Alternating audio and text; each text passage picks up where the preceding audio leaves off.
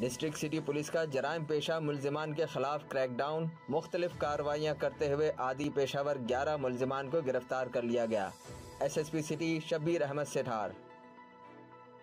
मुलजमान में आदि पेशावर Dakait, street criminals, motorcycle, rickshaw lifters snatchers और मनशात फरोश और सप्लायर्स शामिल हैं।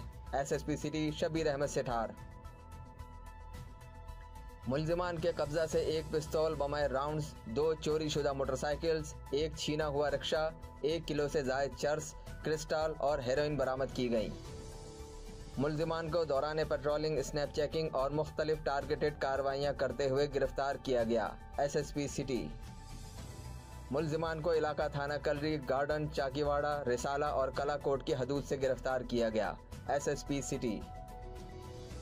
मुलजमान आदि और पेशावर हैं। मुलजमान इससे कबल भी मोटरसाइकिल लिफ्टिंग और मनशात फरोशी जैसे कई मुकदमात में गिरफ़्तार होकर जेल जा चुके हैं।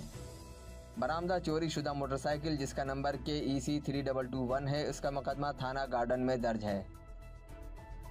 बरामदा चोरी शुदा मोटरसाइकिल, जिसका number K N V five eight seven six है, उसका मुकदमा थाना डिफेंस में दर्ज है।